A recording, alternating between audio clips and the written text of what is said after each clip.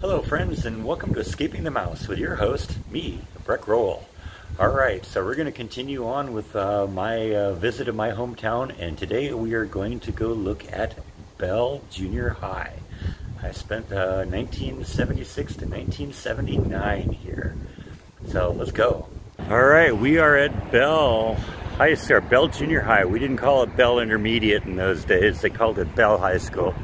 And we were the Road Runners. Uh, I see we got more fences here too. You used to be able to walk right up to the class here. You know, in fact, they'd, uh, your parents could drop you right off here, come right through here, drop you right off here, and you could walk right into your classroom. This is like the sciences classes uh, in here. So I had my like biology and that kind of stuff in here.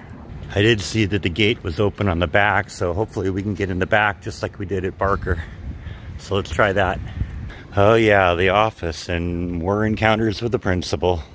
By the time I got here, I was riding my bike to school every day. So this is where the bikes were all parked. Uh, you locked up your bike here and stored it here for the day. I don't know what they're doing with it now. They've obviously moved that somewhere else. It looks like they just extended it uh, as part of the field here. Used to be a gate kind of in the back there they kind of keep kept uh, the kids from getting from the field into this area but looks like they've torn that down now and that's just all part of the to the uh, backfield area here. So this place hasn't changed much at all either. It's pretty much the same except for all the fences. Um, over here used to be the uh, the music room. I was in the uh, the school orchestra in those days. I played the clarinet. I don't know if this is still still the, the music building, but based on the fact they call it M1, I would assume that the M stands for music.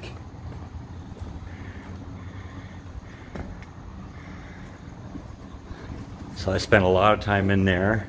And of course that was the cafeteria in there. Looks like it still is because this is where you went in to get your lunch. And then that kind of fed into the cafeteria on the back there. I remember when I was in junior high, I was a member of the science club. And as a fundraiser, our science club would uh, made a deal with a local Winchell's Donuts where we would bring donuts down every day and we'd sell them out of this window for like a dollar a piece. After a while, we got to the point where we, we weren't using up all the donuts every day, so we'd store them in the refrigerator and sell them at half price the next day as day-old donuts. Now over here were the uh, metal and wood shop uh, classes. I took a metal shop, probably where I first started learning how to use tools, and that was actually right here in this room. Had the metal shop in this room, and the uh, wood shop in the next room here. I never took the wood shop. I guess if I knew then what I knew now, I probably would have, because I got more into woodworking than I ever did in metal. But yeah, learned my basic use of tools here so one of the groundskeepers just kind of noticed I was wandering around here with a camera, wanted to know what I was doing. So, you know, I just explained to him, you know, I was here a few years ago. You know, I went to junior high here way back in the old days, and um, you know, just was kind of going around telling him I was doing a vlog and just showing everything here. And he actually confirmed that that room that uh, used to be uh, the metal shop, apparently they don't do that kind of stuff anymore. That's just a regular classroom now. So now we're kind of over here. This is like where I had my math and my English classes. I don't remember room numbers. So I don't know if they've changed them the way they did over at Barker. I do remember when these portable buildings were added. It looks like they're still here. I do remember the first year I was in here, uh, the air conditioning didn't work all year. So it was always like, I always hated that class more than anything else because it was always like 90, 100 degrees in that room when we do the, uh, do our classes. So apparently this is still the library. It was a library back in the day I was here, so that's kind of a trip that that hasn't changed.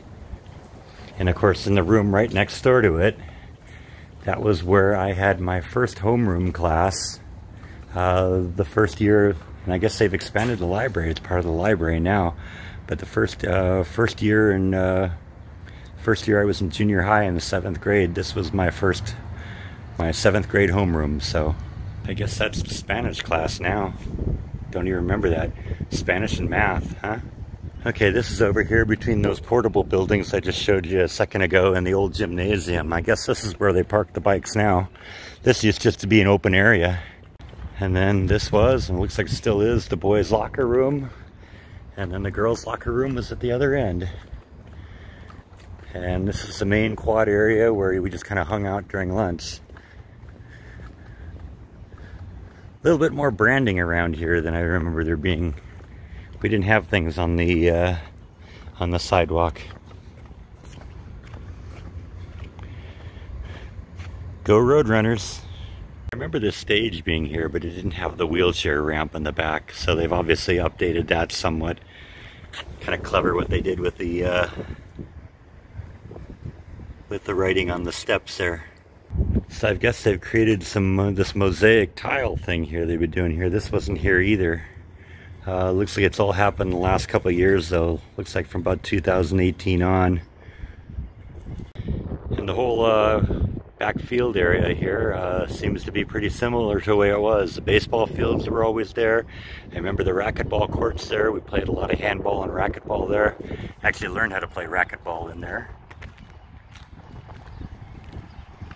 And then kind of out in that uh, area, we called it the field of torture because uh, uh, every once in a while the the, uh, the PE teachers decided they didn't want to do any work there at that semester. So what their what their activity was, they'd call it the 25 mile club.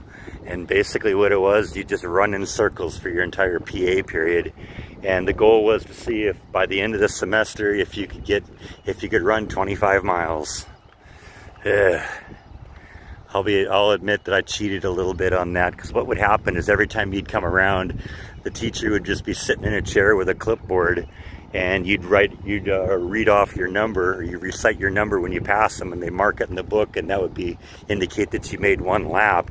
Well, what I always kind of did is wait until a big chunk of kids all hit it at once, and I'd get in there at the front of it, call my number, and then kind of sneak behind the group when uh, when the when wait for other kids to go through and read their numbers, and then when it came to me, I'd go to my number again. I'd get like two laps for every one lap run. So yeah, I totally cheated on this, but that's okay.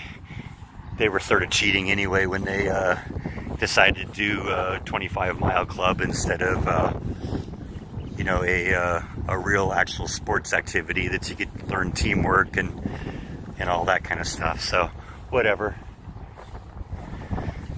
Baseball fields look like they haven't changed a bit. All right, so this is the infamous flagpole behind the school. Whenever you had a disagreement with one of your fellow students, uh, this is where we hashed it out. You'd meet at the flagpole after school and we'd solve it with fists. Yeah, I've been here a few times. So that is Bell uh, Junior High School. Spent three years from about 76 to 79 here. Let's go over to Pacifica now where I went to high school. That place has been, been completely changed since I was here last, so it's going to be interesting to see how much different that place is. I've driven by it a couple times. It doesn't even look like the same school anymore.